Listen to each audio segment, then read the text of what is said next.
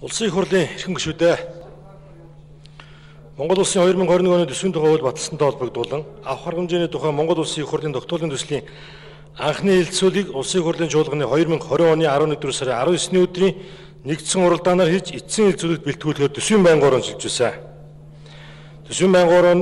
ороо тогтоолын төслийн эцсийн хэлэлцүүлгийг 2020 оны 11 сарын 25, 12 сарын 3-ны өдрүүдийн уралдаанаараа тус тус хийлээ. Нэгдсэн уралдаанаар тогтоолын төслийн анхны хилцүүлгийг явуулах үед төсөлд коронавируст халдварын цар тахлын үед 2020 оны 1-р сарын 1-ний өдрөөс сэргэж эхэлсэн зарим хуулийн хэрэгжилт удаашралтай байгааг харгалзан малчин хуурай өдмөр эрхлэгчийн тэтгэврийн даатгын шимтгэлийг нөхөн төлөвлөх тухай хуулийн хэрэгжих хугацааг сунгах хэсэг асуудлыг судлан үзэж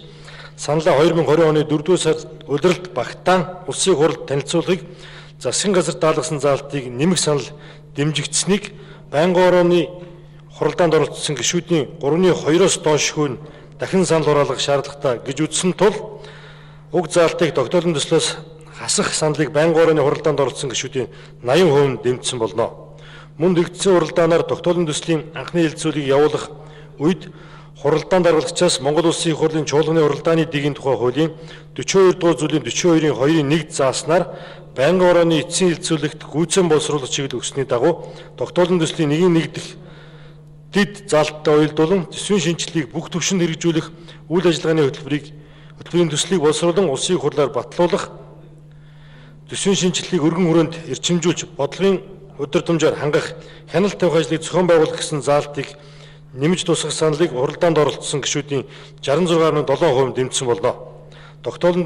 төслийн эцсийн хуулбар болон зарчмын зөрүүтэй саналын томьёолыг та бүхэнд тараасан болно. Улсын хурлын эрхэм гишүүдээ Монгол улсын 2021 оны төсвийн тухай хууль баталсантай холбогдуулан авах хэмжээний тухай улсын хурлын тогтоолын төслийн эцсийн хэлцүүлэгт бэлтгэсэн талаарх төсвийн байнгын танилцуулгыг хилцэн тогтоолын төслийг эцэслэн баталж өгнө. Анхаарал тавьсанд баярлалаа.